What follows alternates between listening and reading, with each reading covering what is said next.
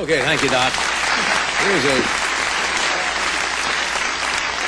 My next guest is a lady I'm very fond of, as I'm sure most people are, and she has a brand new book out called Betty White Person. Would you welcome now from Golden Girls, Miss Betty White?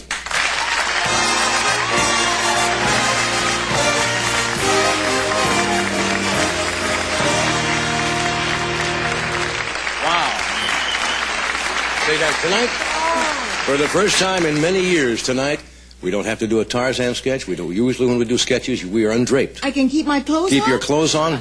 Tonight you come here as an author, so this has to be most dignified. A little dignified. Most Okay, dignified. well, I, I don't blame you. I That's think it's the only way to do it.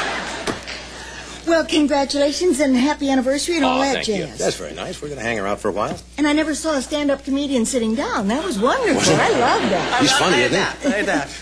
Okay, now I, I kind of thumbed through this today. I was looking. Now, I've had Shelley Winters on the show, and I was saying, "Wow, I wonder if Betty White really now is going to let it all hang out." I was looking for, you know, Hollywood exposés and people you have known, and Tad. well, no, I didn't say that. Not No, had. that's what you were looking for. But I didn't find any of that in this book. I'm sorry about that. Yeah. there was a little about George Burns, but very little. but I, uh, I just figured let it read between the lines, and then you'll figure it out. No, it's not that kind of a book. I know it. It's just a silly little series of vignettes that keeps my skin clear. It just worked out. fine. Did you want to do this for a long time? I know. Really? They came to me and they said, about, I had done a book, you know, Right. about three years, four years ago, and they said, would you like to do a book on little your your feelings on various subjects? Uh, you know, from your point of view or frame of reference. I don't. I guess that means if you're old, you can you can say it. So I, uh, I said, well, sure, that sounds simple enough. But then you stare at the blank piece of paper, Mm-hmm. and you know that it's got to get done, and the deadline keeps doing this. But you've been writing since you, as I understand, since you were 11.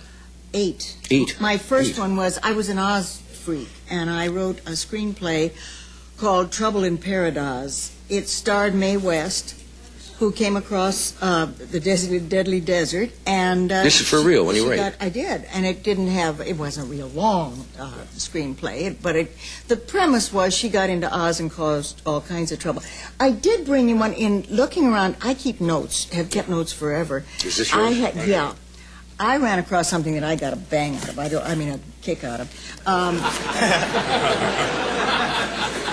just reminiscing. Um, Memories. well, you look at that. I wrote Well, that now when I this was is this is 11. uh, this is rather age. Society or well, cowgirl. I had two such good titles. I couldn't decide between them: Society or Cowgirl, or From Debut to Roundup. It's a By Betty M. White. Yes, What's the M? Marion. Marion. Marion. Uh-huh, with an O. But it was one of those things that it, it, it has a lot of plot, Mm. and I really got carried away, and nobody ever said anything or asked anything. They queried, or they vouchsafed something, or they assured, or they. But the one my, my dad always liked, and I never knew why. He said, well, yes, he ejaculated. And my dad got the biggest kick out of that, and I never knew why. But it's all in longhand. And, it's all, and I love it- it's the, her brother um, was very ill. Her her Dan and I love the part where she said that uh, the, the the doctors Sue decided to face the doctors and find out the truth about Jeff. It seemed to her that he would have been well by this time had it been only a common sickness, as the doctors had called it, not saying what it was. God knows what was the matter with Jeff.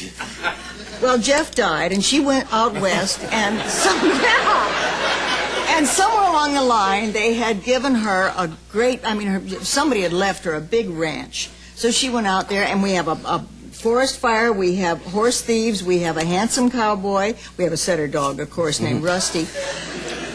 But I evidently ran into a little plot problem because I didn't know quite how to handle it. Uh-huh. So I had a wonderful idea. She woke up, it was all a dream. Jeff was well. Well. And do you know that they stole that idea? On Dallas, I On think. Dallas. Yes. They took it right out from under. Just killed me. Yeah. But it's uh, that's the way you start, and then you go from there. And it's taken me that many years to really get around to writing another one. Yeah. Yeah, I find I've known you a number of years, but I don't sure I really know you.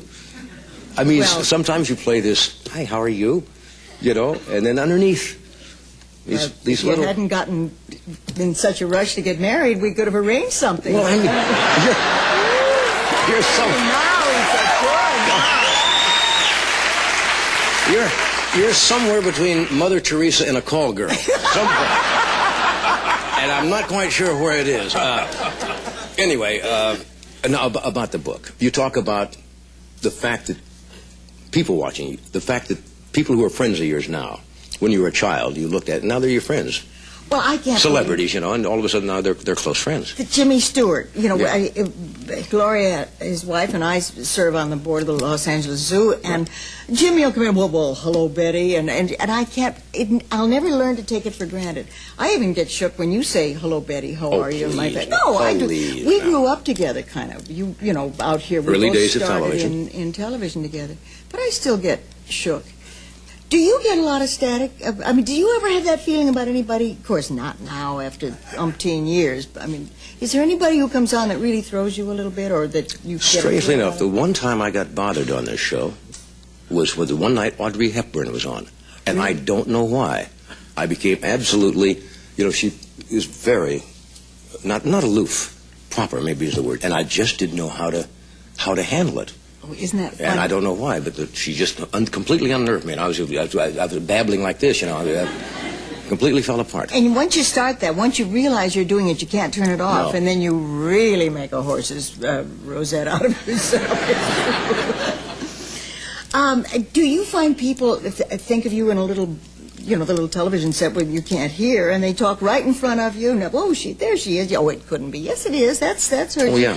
She's not as fat as I thought she was. Yeah, she's not, not quite as. And they're ta- and you don't know where to look. You know, you. do You mentioned that- shows in the book I didn't even know you were even on. Blondie. Oh, well, that was radio. I was radio. Yeah, that was. I got that by accident. Um, I had been You doing. didn't. You played Blondie. No, no, no, no. I, I, I tried to. I played it and lost. No, I went. I showed up one day with. I would only do one-liners in radio. You know, Right. Good morning, Merry Christmas. Those were the parts I played. Sometimes crowd noises, um, but then the um, the FBI called and I came in to do a kind of a little speaking part.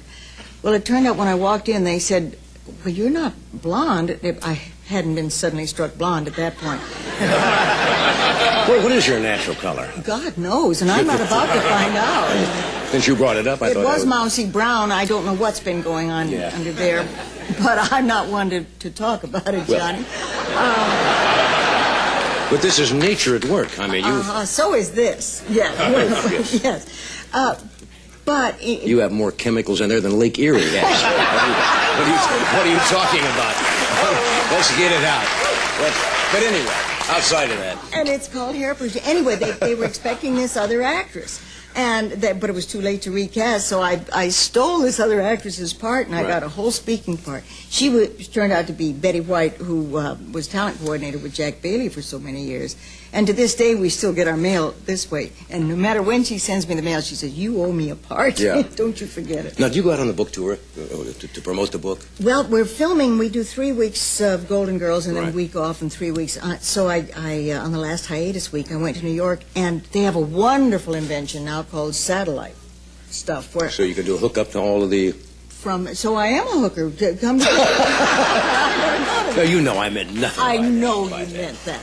Um, but from nine to one, you do 22 cities just sitting there, and that instead of running around all those cities, it's wonderful. I must say that the Golden Girls, uh, all- you know, certainly don't need the plug, but that is one of the most creative, funny shows on television I've ever seen. It is really done.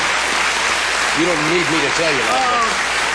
Not only, really- not only the but girls. So much fun to watch. But the writers Yeah. and the producers and the tender loving care they take. First-rate it- stuff. Oh, it's such. A, we keep looking at each other each Monday when we see the script, looking at each other like this. They've done it again. Don't Nice. say anything. They've done it again. That's a first-rate show. We have to do this? We'll do this. We're coming back.